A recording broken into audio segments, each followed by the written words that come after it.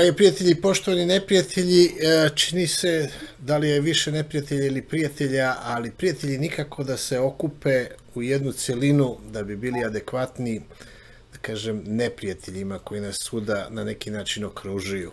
Ponekad čak ostanemo i usamljeni e, sa nekim svojim ubeđenjem da li ovo da radi ili da ne radi, Na ovom prvom primjeru volao bih da započnemo šta se desilo dan posle sutra i mislim da će dosta na neki način lepo da ilustruje kuda nas vodi ova emisija. Nebezbednosti. Kad imate ovakve situacije, imate državno preduzeće ili većinskom državnom vlasništvu koje proizvodi oružje. I kada imate državnog, i to je sad jako važno ime koje se redko pominje, odnosno firma, SDPR, kad imate važnog državnog izvoznika te vojne opreme i naoružanja. Ja ne vidim potrebu da se u čitavu tu priču uvode i neki e, privatni posrednici. Kao što kaže poslovica, ako hoćete da istrebite komarce ili barem da smanjite njihov broj na nekom području, redko ćete uspeti tako što idete pa lovite komarca po komarca, nego treba da isušite baru koja te, u kojoj ti komarci rastu i razvijaju se njihove larve. Da li ti imaš neku poslovicu ili neko rešenje za komarce? Jer čini se, ne zna se ko je više dosadniji. Da li ovi lopovi što drpaju ili komarci, em što te grizu, em što zuje. Dobrodošao, Ivan Živkov, sociolog sa nama. Dobar dan i pozdrav svima.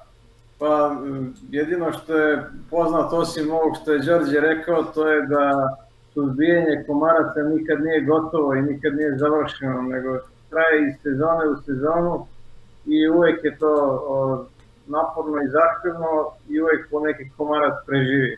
Ja mislim da je tako i u slučaju borbe protiv korupcije, nulta korupcija je ideal kojem težimo, treba biti što snažniji u toj borbi, ali unapred znamo da i korupcija i kriminal uvek postoje i uvek opstaju.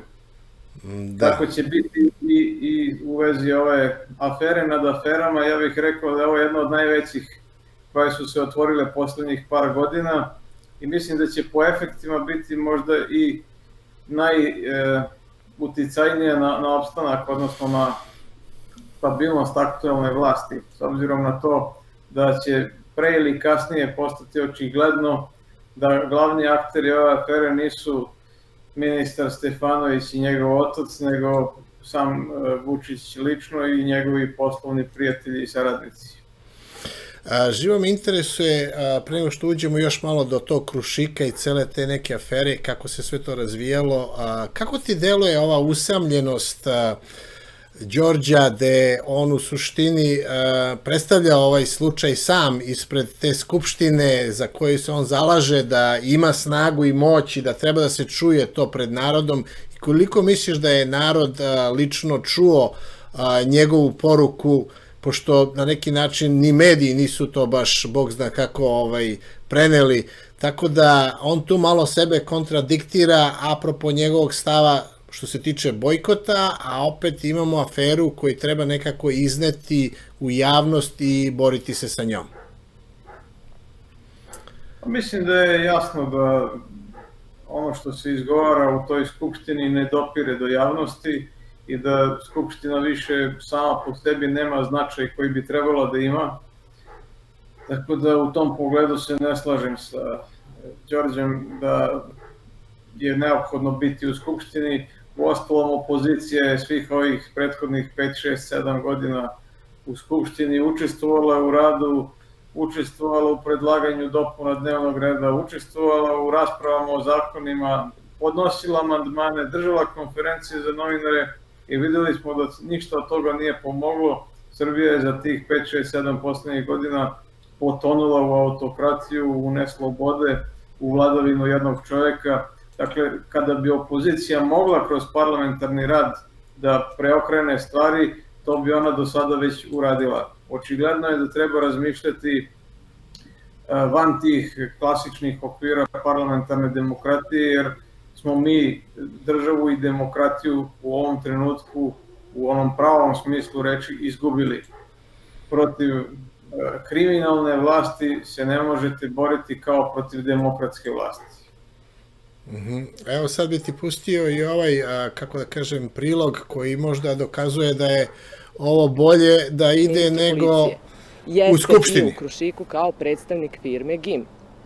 Je li zaposlen? Nije zaposlen? Kako onda kao predstavnik firme GIM da se zatekne u Krušiku? Dakle, moj odgovor je na ovo, ljudi, da se svi prave da ne razumeju šta pričam. Ja sam sam izašao i rekao, optuživši ga, rekavši, mislivši, on je zaposlen. Pitam Nebojšu, je li vlasnik, je li direktor, šta je na komu? Kaže ništa. Ja izađem, kažem, on obično zaposlen, računam, ne možete da slažete da je čovjek ne predstavlja firmu ili da nije zaposlen. Ja kažem, pa on tamo obično radi zaposlen, ne znam ni sam šta sam rekao. Je li zaposlen ili nije? Nije tačno. Dakle, peti put vam govorim. Zašto je bio kao predstavnik ali ja firme nisam, u Krušiku? ali ja mu nisam, dakle, e, da li je zaposlen ili nije? Ja Da. sam mislio da jeste. Teško sam ga optužio. On čovjek izgleda nije ni zaposlen. Što znači da su sve... Mogu nešto da vas molim? Ovo je već šesti put da me prekidate. Ja nemam, imam beskrajno strpljenje, evo i sedmi put. Imaću i osmi put ću da vas saslušam i osmi put ću da vas odgovorim. Vama to neće biti jasno, jer ne želite da vam bude jasno. Ja vam ponavljam, molim vas svim drugim ljudima da kažem. Dakle, ja sam rekao, to što čovjek nije direktor, nije vlasnik, kažem, on ne uzima profit. On od toga nema ništa. Ja kažem, verovatno je radnik tamo, pa ko zna, zaposleni neki, pa to mu interes. Ja sad čujem da on tamo nije ni zaposlen, po čemu onda problem? Izvinjavam se i ne bojši. Već vidimo otprilike da čovjek sam sebi skače u zamku, a najbolje bi to možda ispratio i sa ovim primjerom, pošto ne mogu, a da ne propustimo o, o, o, ovako nešto da pustim. U stvari ja sam muzičar, tu sviramo, tu gore na terasi za dva, tri dana. Hoćeš da se obučeš ili da te vodimo ovako u gaćama? Hej, koliko ovde džabale baraša. Hej, ti! Ti, ti! Ti, samo tetke ti, da ti, dam. buđavi, dođi ovamo! Brže!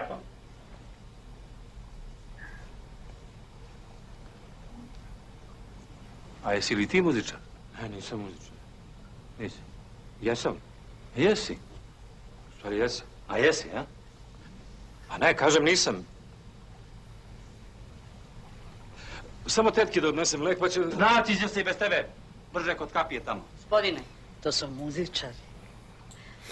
Dakle, kada uzmemo sve u obzir, bit će i ovo još jedan klasik od ja ti pričam, ti mi ne veruješ i ovaj, ne veruj svojim ušima, gledaj šta ti, ili kako već ide ta poslovica. Sad bi da se vratimo malo na ozbiljniju strukturu svih ovih problema koji na neki način dokazuju, pokazuju, a i sudstvo i tužilaštvo i svi mi smo nemoćni pred ovakvim snimcima. E, U pravu ste, ovo što smo videli, mislim na snimak Aleksandra Vučića i njegove, njegove izjave, su teške za gledanje i slušanje, a svakodnevne su na nacionalnim medijima u Srbiji. E, On je već do sada više puta pokazao da ne ume da izađe iz uloge partijskog lidera i rekao bih da se ponaša na čelu države kao da je opozicioni partijski lider, To je jako opasno, to je loše jer on ne razume svoj ustavni položaj i svoju ulogu, a kada se pronađe, kada se otkrije da je umešan u aferu poput ove sa švercom oružja, očigledno pokazuje veliku nervozu i za razliku od ovog snimka, odnosno ove komedije koju ste emitovali, nažalost ovo može samo da bude tragikomedija i nećemo uživati u filmu, nego ćemo propatiti jer to su naši realni životi. Da. E, Ova afera, ova afera je pokazala, osim te nervoze koju smo povremeno viđali kod Vučića i ranije, da postoje izvesne pukotine u strukturi vlasti. Naime, po prvi put se dogodilo da je Vojislav Šešelj napao Nebojšu Stefanovića, prozivajući ga zbog uloge njegovog oca u prodaji e, oružja. To se ne dešava slučajno, svi znamo da Vojislav Šešelj ne nastupa bez koordinacije sa aktualnom vlašću, dakle tu neka pukutina postoji, neke kontradiktorne izjave između Vučića, e, Stefanovića i Dačića postoje, oni e, pokušavajući da se opravdaju, e, sve više iznose neusaglašene stavove i to pokazuje da su oni u jednom velikom problemu. To je sad dokaz jedne opšte poznate stvari u društvenoj teoriji. Naime, kada u, u jednom društvu nema opozicije i kada u jednom društvu nema e, društvenog dijaloga između vlasti i opozicije, tog, e, da kažemo, legalnog i legitimnog sukoba interesa koji je u demokratiji normalan, onda se to počne dešavati unutar vlasti, kao u jednopartijskim sistemima. Dakle, nema dijaloga i sporanja između vlasti i opozicije, jer je opozicija suzbijena, ali unutar onda same vladajuće strukture, pošto su svi na vlasti, počinju sukobi raznih klika, frakcija, lobija, interesnih grupacija, jer nije sve jedno ko će upravljati, ko će dodeljivati poslove, ko će uzimati veliki novac i ko će sve to na kraju naslediti. Dakle, ovde očigledno e, smo stigli do te faze jednog e, raspada potpunog sistema, jednih unutrašnjih velikih trzavica koje su do sada uspevale da budu prikrivene, ali sada počinju da izlaze na video. Ima ta čuvena, mislim da je kineska poslovica da se kaže ako ne možeš da, pusti, ovaj, da pobediš protivnika, onda ga pusti da se on sam po sebi i po šavu na neki način raspadne. Da li je to slučaj ili mi to samo na neki način priželjkujemo? Čini se da su oni dovoljno jaki i slabo da je igde taj šav popustio. E, sigurno se oni neće zbog ovog e, raspasti i pasti s vlasti. Da se razumemo, interes njihov zajednički je jači od svih njihovih pojedinačnih interesa i oni će se držati zajedno koliko god mogu. Naime, Aleksandar Vučić rukovodi čitavom tom operacijom, odnosno svim tim operacijama, pa i verovatno ovim izvozom oružja. Tako da ukoliko dođe do situacije da mu se zaljulja fotelja ili ugrozi njegov lični interes i opstanak, on će se odresi jednog ili više saradnika, makar to bili i najbliski poput Stefanovića, ali neće sebe dati. E, podsjetit ću vas da je i prethodna vladajuća garnitura, ona iz demokratske stranke, se raspala tek nakon pada sa vlasti. Setite se od 2012. do, do 2016. znači u tom prvom mandatu nakon pada s vlasti, šta su, kako su se e, razbili na frontsle i šta su jedni od drugima govorili ljudi koji su pre toga nekoliko godina bili e, zajedno nasmejani, zagrljeni, saglasni u svemu, naravno za javnost, a govorimo o Tadiću, Dušanu Petroviću, Draganu Đilasu, Šutanovcu, Pajtiću, Vuku Jeremiću i ostalima. Dakle, raspali su se u 4, 5, 6 stranaka, optuživali jedne druge za to ko je šta radio i kako je radio. E, mi sad možemo sa velikom sigurnošću da tvrdimo da će pad Srpske napredne stranke, kad do njega dođe, biti e, suroviji, siroviji, pošto je kod njih sve sirovije, bahatije i grublje, takav će im biti i pad. Njihove međusobne svađe, optužbe i podele će biti mnogo veće i drastičnije od onog što smo videli da se dogodilo prethodnoj vlasti. Umeđu vremenu e, imamo tu još uvek prisutnu neadekvatnu političku, da kažem, nesposobnost To smo videli na primeru i opozicije, sad vidimo i tu situaciju da ne može nikako da se zategne i po pitanju studenta od kojih se dosta očekuje da na neki način iznese svoje zahteve, a normalno je li pozicija drži tu svoju poziciju i nema nameru uopšte da poklekne po pitanju svih ovih traženja, bilo plagijata ili ostalih stvari po pitanju akademske zajednice. Pa, e, loša, loša opozicija, neorganizovana, slaba, je uvek jedan od potpornih stubova svake e, loše vlasti. Mi u Srbiji imamo, nažalost, takvu opoziciju. E, treba reći da čak i u ovoj aferi naoružanja s kojom smo počeli ovu emisiju, je prosto neverovatno da ovakvim stvarima javnost obaveštava jedna Marinika Tepić, jedan Đorđe Vukadinović i svi oni koji o tome glasno govore. a da ubedljivo ćute oni koji su u prethodnoj vlasti držali resore sile, dakle bili u kakvom takvom kontaktu sa odbranom, policijom, službama bezbednosti i onda to ostavlja sumnju da se u principu dogodila samo promena tokova novca i uticaja, a da su strukture i načini rada i razmišljanja u stvari ostali isti. Tako da se neki možda pribojavaju da se otkrije suština kako sistem funkcioniše i koliko je on loš po državu i po društvo, pa bi želeli da to ostane samo na nekom uh, uh, na nekoj ličnoj kritici Vučića i njegovih saradnika. Što se tiče studenta, ja sam lično bio zapanjen kada sam video šta su oni objavili sami, da su hteli da pitaju Vučića svoje vremeno kada su ga čekali ispred radio televizije Srbije. Oni su tamo dali jedan spisak pitanja koji je otprilike glasio kad ćete smeniti Gorana Vesića zbog toga što radi u Beogradu, kad ćete smeniti Sinišu Malog zbog plagijata, kad ćete smeniti direktore u nekim firmama i tako dalje. Sve u svemu izašli su sa pitanjima kojima pokazuju političku nepismenost, ne znaju nadležnosti predsednika Republike, takvim pitanjima mu daju na značaju i e, podstiču razmišljanje da o svemu on zaista treba da odlučuje, da smenjuje i ministre i direktore i funkcionere lokalne samuprave i da se o tome on i treba da izjašnjava.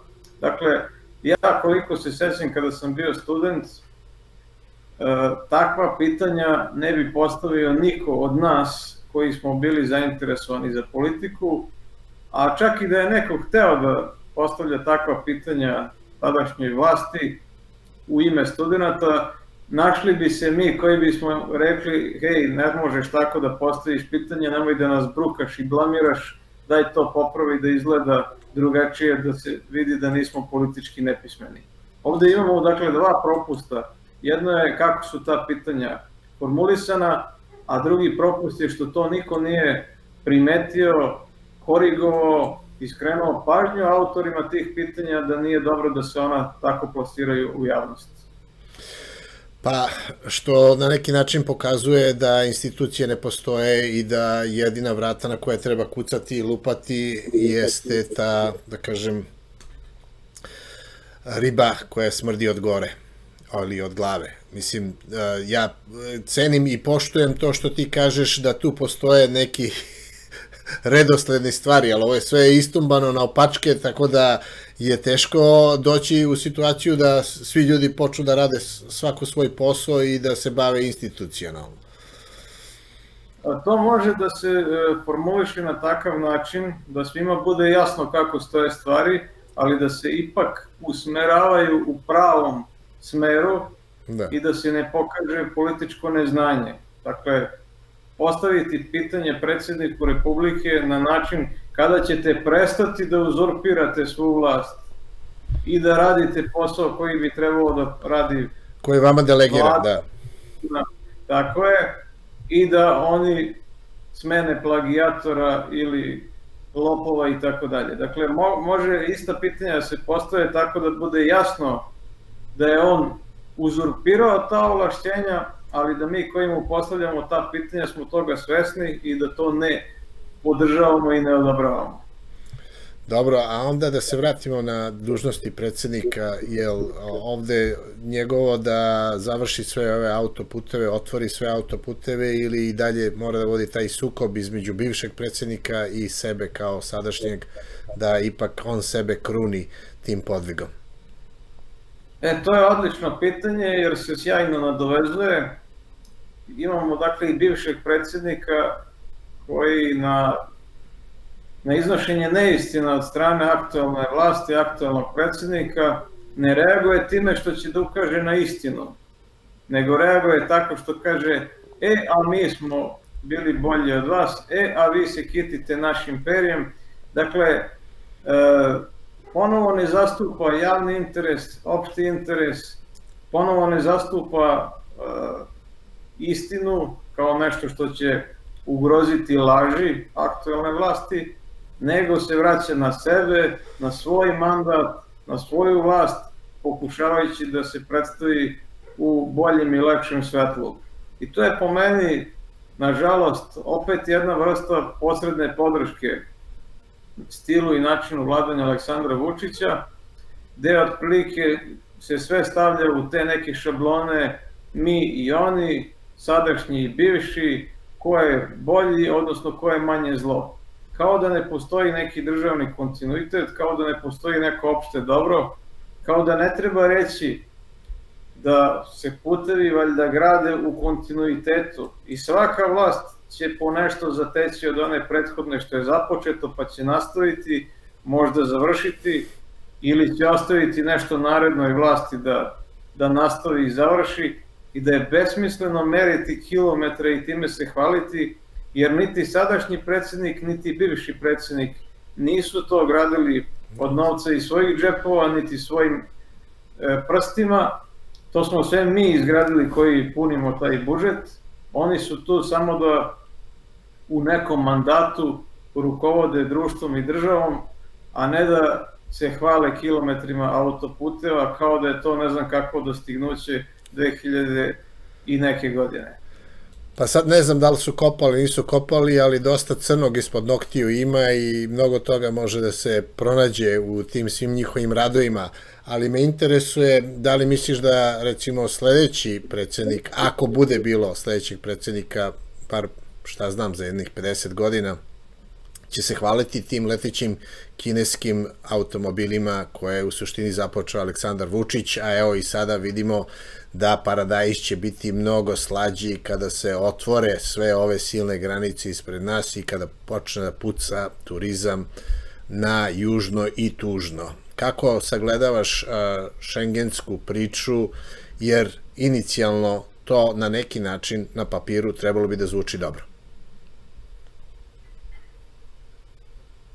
Iskreno se nadam da ćemo se hvaliti letećim automobilima, bez obzira čija će to biti zasluga, a nadam se da neće biti izgrađen nuklearni reaktor prema najavama saradnje sa Ruskom federacijom, s obzirom na to kako upravljamo daleko primitivnijim sistemima i kakve greške nam se dešavaju, bolje je bilo da sa ovakvim stručnjacima, naprednim doktorima nauka ne ulazimo u te opasne projekte. Inače, što se takozvanog malog Schengena tiče, vrlo je to sve tužno, bez obzira što nikom normalnom ne može da smeta sloboda kretanja i putovanja bez e, pasoša i naravno ušteda u privredi koja je potencijalno velika. Razočaranje je u tom pogledu što smo mi nekad mogli od Vardara pa do Triglava bez pasoša da putujemo, a sad treba da budemo zadovoljni što možemo do Tirane i Skopja.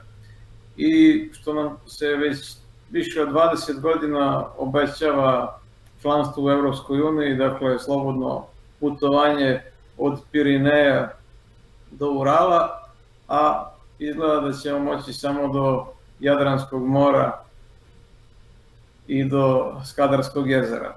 Dakle, tu je taj problem što velik, e, velika očekivanja i ono što smo nekad realno imali više ne postoji.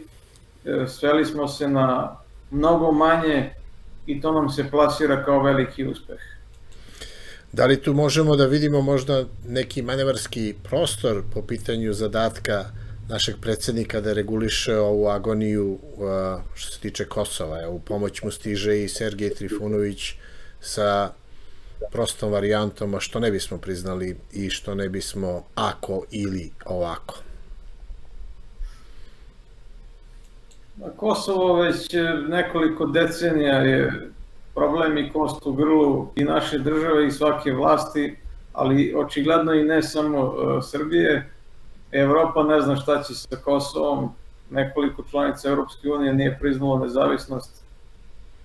Vidimo da i, i u regionu postoje strahovanja od toga šta raditi sa Kosovom koja očigledno ima težnje da se ujedini sa Albanijom.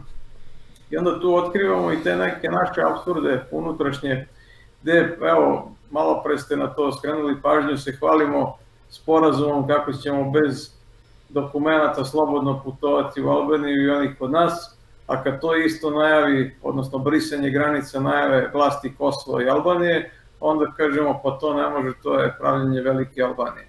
Dakle, problem je tu veoma kompleksan, a naši političari poslednjih nekoliko decenija, uključujući i ove takozvane nove, pa i Sergeja Trifunovića, često su skloni da ponude jednostavna rešenja, brza rešenja i da kažu, e, ako se to uradi, problem će biti rešen. Na primer, ako se prizna Kosovo, bit će problem rešen. Ili, što kaže Saša Radulović, dosta je bilo, ako usvojimo e, zakon o Kosovu i Metohiji koji je u skladu sa Ustavom i sa rezolucijom 1244, rešili smo problem. Nažalost, ni jednim pojedinačnim potezom, ni jednim sporazumom, kakav god da bude, realni problemi neće nestati jer oni postoje više od 200 godina.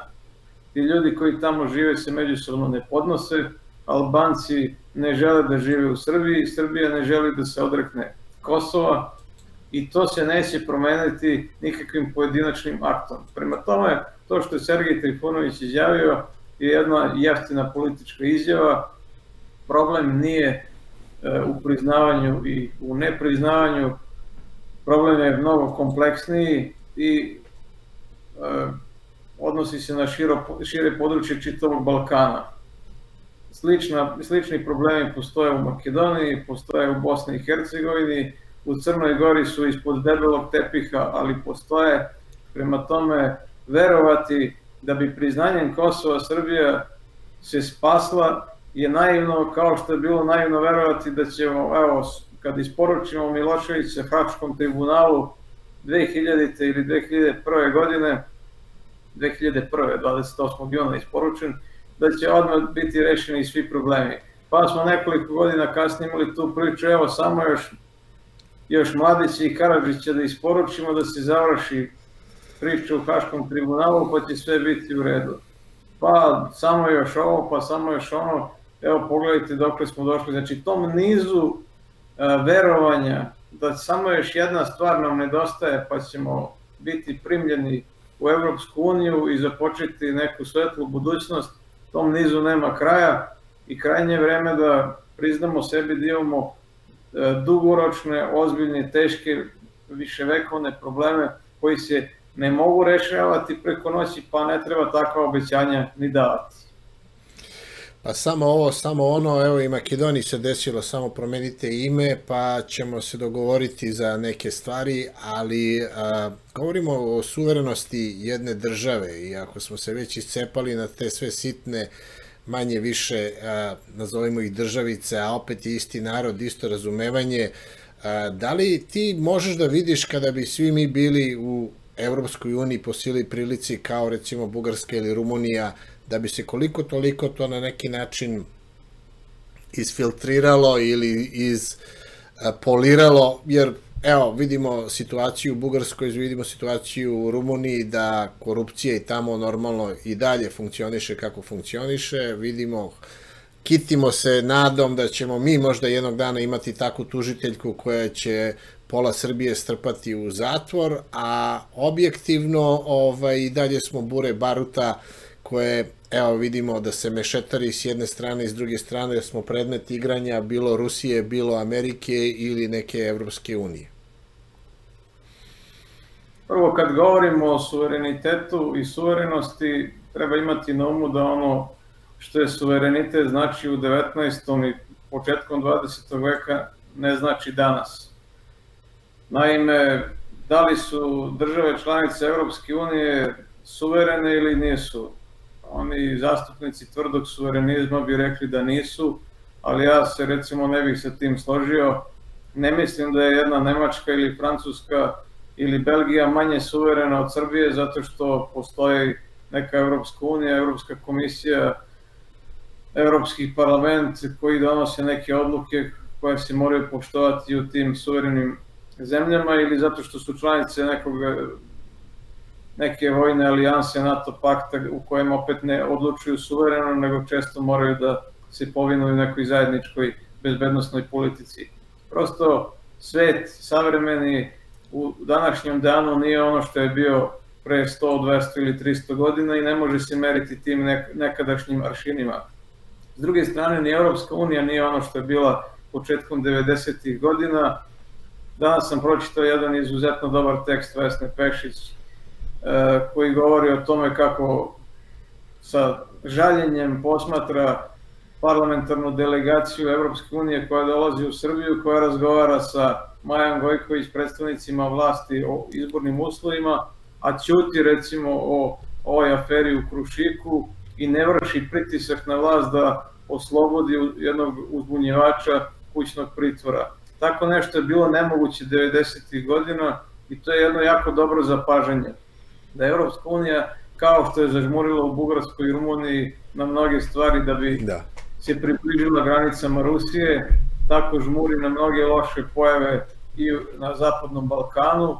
Samim tim ona nije ono što je bila, nije ono što je u očima zaljubljenih u Evropsku uniju i samim tim i mi kao društvo i kao država treba da preispitamo e, na koji način treba da se odnosimo prema toj zajednici. Ej, nešto sam teo sada da te pitam, a, dosta interesantno, ovaj, a, mnogi ljudi misle Pa čak i ja nešto mislim, kada bi bilo manje više ovih digitalnih buka, ovih razgovora kao što ja i ti vodimo, za mnoge koji smatraju da je to trla baba lan i štrikanje samo jednog džempera, mesto da to ne, nemamo, verovatno bi se možda neke stvari rešavale na ulici. Imamo a, popularne a, te, nazovimo ga, a, a, a, razgovore na nekim određenim televizijama, pa čak neki uspevaju i da dovedu i sad i poziciju i opoziciju kao jedan od većih uspeha da razgovaraju između sebe, pa kao možda ima neke određene nade. Ali vidimo, evo da ti dosta to lepo je balansirano, sebe braniš i ograđuješ, a, međutim, neko bi u svojoj, jeli, onoj opšto srpskoj ljubavi prema mržnji napao tebe, a šta bi ti radio ili kako bi ti radio, ili bi te zasuo a, sa svom svojom srditostom, mržnjom i ono što se već nabija a, dugo vremena.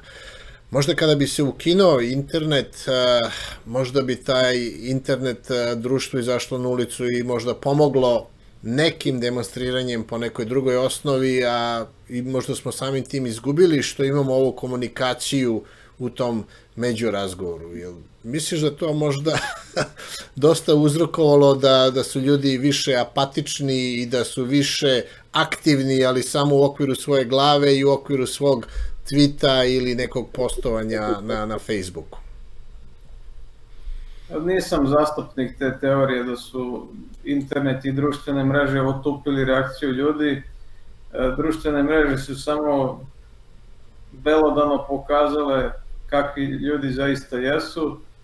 E, oni koji umeju bolje da koriste prednosti tehnološkog napretka, ti su u većoj meri dobitnici e, od interneta, oni koji, nažalost, možda nisu sposobni da iskoriste sve prednosti koje donose elektronski mediji i internet, za njih bi možda bilo bolje da imaju e, motike i grabulje u rukama, a ne miš i tastaturu, ali je tužno na takav način razmišljati da nekom treba ukinuti dostignuća, da bi on bio efikasniji na ulici ili u nekoj revoluciji. To je zaista tužno, ja ne želim na taj način ni da razmišljam. Što se tiče ovih kritika, pa znate, zavisi e, ko kakvu ulogu igra u društvu. E, jedan e, sociolog ili politikolog treba da bude kvalitetan u analizi društva i političke i javne scene ako nije kvalitetan u tome, onda zaslužuje da bude kritikovan. S druge strane, onaj ko se aktivno bavi politikom, ko kandiduje sebe i neki svoj program, ne treba da bude kvalitetan u toj praktičnoj dnevnoj politici. Ne mogu se mešati babi i žabe i očekivati od analitičara da će oni sada da budu prvi na barikadama, a da će oni koji treba se bave praktičnom politikom, odnosno koji se kandiduju e, da preuzmu vođenje države i e, javnih resursa, da će oni da, da oni treba da ostanu u nekoj, nekom domenu spekulacija. Tako da svako treba da radi svoj posao i svako treba da bude e, dostupan i e, slobodan za kritiku. Pa generalno, a, jeli, političari bi želi da na neki način a, akumuliraju, da, da, da magnetizuju što više birača i ljudi za njihovu neku platformu i da na neki način sebe pozicioniraju u toj nekoj snazi. Očigledno to jalovo ide. I sad ne zna se više ko kome više čini uslugu ovaj, pozicija, opoziciji ili opoziciji, ali nekako su nerešeni tu svi ti slučajevi. Mi imamo agresivnog Boška Obradovića koji se ne libi da kaže ono što misli, međutim čini se da je i sami njegovim ponašanjem on je samo destruktivan. Imamo Jovu Bakića, čoveka koji je isto principijalno što se tiče nekih svojih stavova i nema problem da govori onako kako misli, a ni to nema nekog velikog uticaja i pomeranju. Tako da, šta bi se reklo o toj jalovosti i pokušajima same opozicije da neki način da, da se pomeri, ja bih rekao, pa čak i status quo ili mrtve tačke? Pa što se tiče ovih pomenutih, e, problem Jove Bakića, vidim insert iz tog, e, ne, ne bi se moglo reći duela, zajedničkog gostovanja Bakića i Obradovića. Dakle, što se tiče Obradovića, problem je u tome što on ne razume da ne postoji poklapanje između interesa građana i interesa opozicije čiji je on član.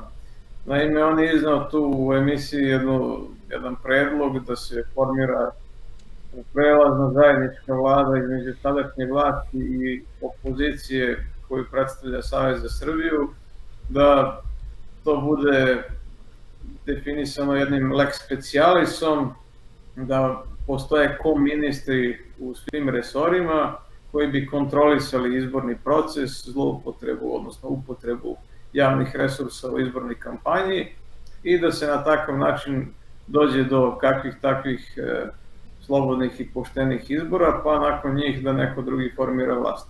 Sve šta je tu problem? Problem nije što on ima ovaj ili onaj politički stav, što zastupa levo ili desnu ideologiju.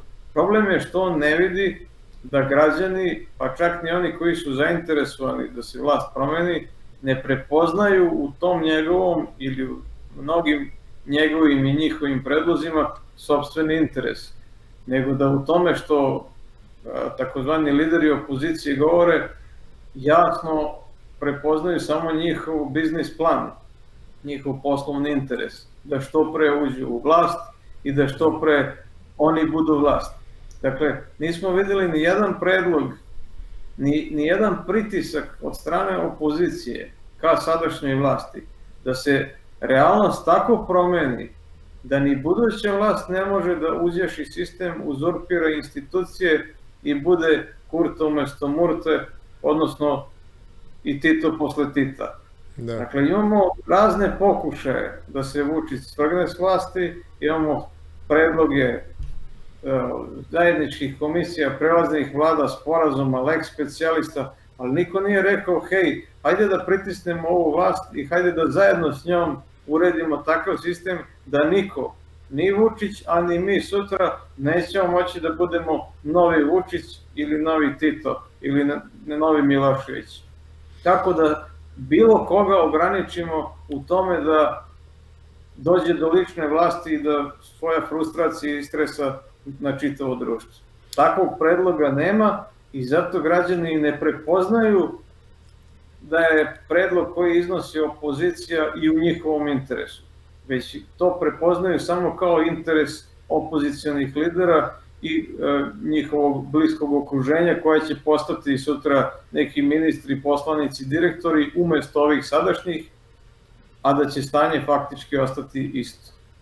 Znači to tranzicija na vlast što oni govore i stručni ljudi neokaljanog a, morala i karaktera Misliš da nije dovoljna jaka propozicija Saveza za Srbiju, gde oni kažu da to u godinu dana mogu da obezbede i da neće u suštini da štete, jer ovo što si ti rekao, a, jedini problem što niko to ne veruje.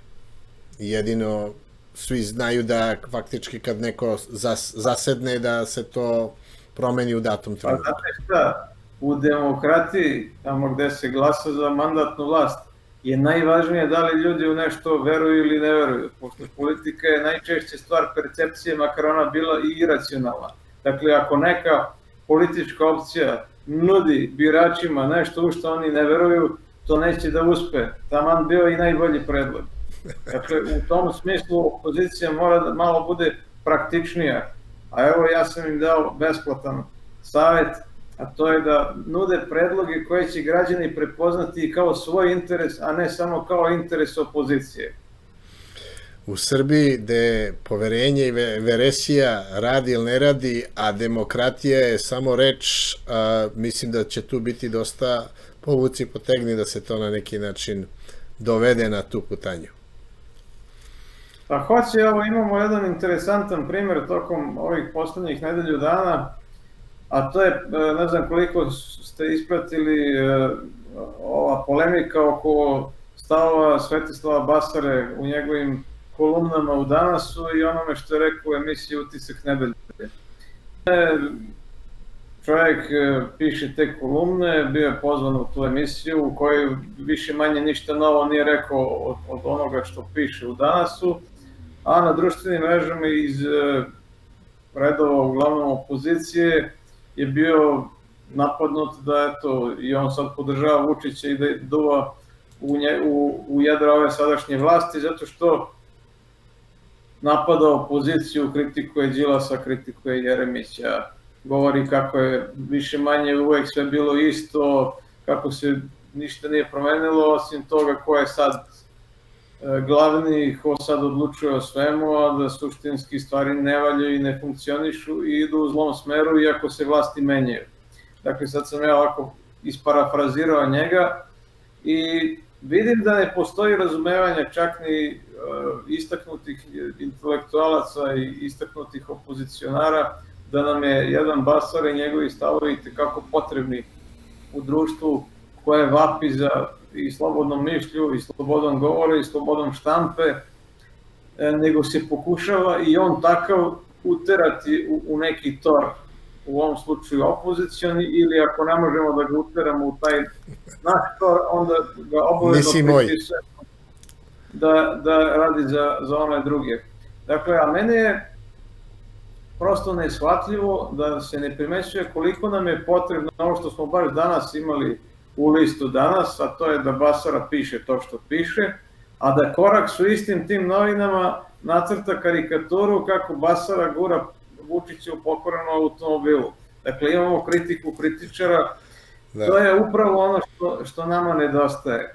Dakle, ja recimo polovinu tih e, stavova Basare ne podržavam, pogotovo ne rečnih koji on koristi. Recimo, e, pogotovo kad govori o konkretnim nekim pojedincima, ali uživam u tome što on ima tu slobodu da to iznese na svoj način. Na kraju krajeva on nije političar koji mora da bude korektan, nije čak ni novinar koji mora da bude e, objektivan i nepristrasan. On ima svoju kolumnu i ima pravo na lični stav. I isto tako uživam kada mu recimo jedan akademik Teodorović odgovori na te njegove kritike i prozivke ili kada mu Vesna Pešić odgovori, pa onda opet kada Basar odgovori i tako dalje, upravo to je ono što nama kao društvu nedostaje. A ne da to suzbijamo i da pravimo crno-beli svet, pa da se pribrojavamo na koje gomili je više, a da kogod nije na našoj gomili, teramo da bude na ovoj drugoj. Pa mene samo interesuje koliko je to sve njima vredno, odnosno nadam se da su dobro plaćeni da to rade i onda kao takav uvek se misliš šta stoji iza toga, čiji je tu i gde je tu konkretan interes, osim ono zašto se mi svi na neki način zalažemo za slobodu misli i govora i to što ja i ti činjenično ovde radimo. A, I za tebe i za mene a, mislim da teško da može se nađe neki konkretan interes, osim zdrav razum koji želi da na neki način podeli ono što vidimo, a prosto ne možemo da verujemo svojim očima šta se sve vidi. A, Pasara, apsolutno... Da. Izvinite, ali teško je e, baš svaki put potegnuti taj argument i reći eto ja govorim svoje stavove zato što sam slobodan da tako mislim, a kad mi se ne sviđa ono što neko drugi govori, onda uvek pokušavam da nađem e, koga je platio ili za koga taj radi. Pa se onda tako sad pripisuje Basari da, da drugo je sa Bebom Popovićem, što je možda i tačno, možda i nije, nebitno, zar ne bi mogao jedan Basara imati neke stavove nevezano za to da li se s nekim viđe i pije kafu ili ne. U ostalom, taj Beba Popović je ušao u javni život Srbije ne kao Basarin prijatelj, nego kao Đinđićev prijatelj. I takve neke stvari ne treba zaboravljati. Ako govorimo o Đinđiću kao vizionaru i čoveku koji je bio pozitivan na političkoj sceni Srbije, kako na njega onda Beba Popović nije negativno uticao ili je možda pozitivno uticao, a sad na Basar utiče negativno. Dakle, dajte da razdvojimo ljude od stavova i onoga što trenutno govore ili pišu, to ne mora da bude neposredno povezano, niti je svako plaćen i ima neki materijalni interes za stavove koje iznose. Kad vas neko pita ko vas plaća za lični stav, mnogo je rekao o tome kako dolazi do sobstvenog stava. Pa da, ali evo, moj recimo lični utisak je da dok je on pričao kako odlazi u kafanu u neko određeno vreme, on je primetio da Srpska napredna stranka nešto radi. I on je shvatio i došao do zaključka da se ti ljudi apsolutno bave. Međutim, ne vidim da slepac ne bi video šta u suštini Srpska napredna stranka radi i čime se bavi. Da li je to botovanje, da li je to terorisanje i da li je to maltretiranje. Mislim da je tu malo literarno preskočio tu obzervaciju, a mislim da nije toliki slepac da možda u svoju odbranu mogo bi to da kaže. Ili čak, ako hoćemo da kažemo, a, gde štampa knjigu, kako štampa knjigu, pa onda da idemo tako po svakom producentu filmskom ili režijskom, kako se dobijaju nov, novci za take neke određene projekte, koje nevladine organizacije stoje iza koga. Mi shvatimo da u suštini... Ja, izvoli. Ja koliko znam štampa knjigu u službenom glasniku kod direktorice Jelene Trivan bivše potpredsednice i udarne pesnice demokratske stranke i bivše vlasti. Prema tome, bivši, bliski saradnici i prijatelji Jelene Trivan, sadašnjeg direktora službenog glasnika, optužuju Basaru što kod nje štampa knjigu. Je li to poenta optužbe? Nije poenta. Dakle, kad, kad, smo, kad si sa mnom, onda si super, a kad se ne slažemo, onda si crni đavo dajte da vidimo šta su koji čiji stavovi, šta su objektivne e, pozicije, a ne šta se kome sviđa. Ja bi lično štampao sve artikle i, i kolumne od uh, Svetislava Basare i apsolutno cenim njegovo kritičko sagledavanje, ali je taj utisak, da kažem, tih ljudi koji sagledavaju sa strane i ono što mogu da pročitam, jeste da se video direktni interes i nekog Branka Milićevića Kockice i nekog, šta ja znam, čoveka koji je u datom trenutku odmah posle toga snimio film i tako dalje i tako dalje. To je isto direktno bilo vezano, da kažemo, i za Koju, i za Bijelu, i za sve ostale ljudi koji su ranije pokušavali i navlačili da mogu da stvore nešto u datim situacijama u okviru svoje profesije. Tako da ja tu ništa ne mogu zameriti ali opet sa druge strane biti krajnje objektivan i reći da oni nešto rade, a da ne znaš šta rade i da se ogradiš od toga da imaš sileđije i da imaš uh, uh, svega i svačega, ono što čitamo svaki dan,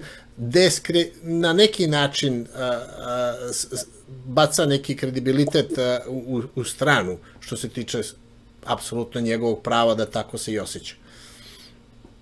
Vidite, on je imao jedno loše gostovanje u utisku nedelje, ali kad govorimo o, o Basari treba imati u vidu celokupan opus njegovih e, kolumni, tako svako može u nekoj rečenici uživo emisiji da se ovako ili onako loše izrazi. Evo i tokom ovog našeg razgovora je pitanje da je svako od nas dvojice baš potpuno precizno i jasno formulisao misao kad se nešto uživo radi i kako je to neko čuo i doživeo ko to u trenutku gleda. Ali kad uzmete ono što on piše, znači ono što je, o čemu je razmislio, što je pročitao pre nego što je poslao, tu nema takvih gapova da, da, da. koje ste sad skrenuli, na koje ste sad skrenuli pažnju. A ja kažem jednu drugu stvar, za mene je fantastično i to što ljudi njega kritikuju i to što skreću pažnju i s kim se on viđe i gde štampa knjige i sve ostalo. Ali kažem, to nije argument da, da on ne treba da ima takve stavove, razumete? Ne, apsolutno, da... apsolutno. Mislim, znači, u svu da, moju kritiku, u svu moju kritiku on je omiljeni kolumnista koji je obavezno pročitan zato što apsolutno daje svoju liniju razmišljanja i, i, i svoj stav, tako da je onda lepo ukrstiti ti si spominjao i, i, i Pešićku i ima tu milion ljudi, ti isto pišeš i dosta drugih ljudi koji a, lepo saberu da kažem, te misli i to je apsolutno fair na neki način da zaključimo ovu našu obzervaciju da, da, da je drugačije kada ti prezentiraš crno na belo i kada se uhvatiš u datoj misli dok te neki možda komentator ovaj prekida ili, ili se gubiš u, u, u razmišljenju.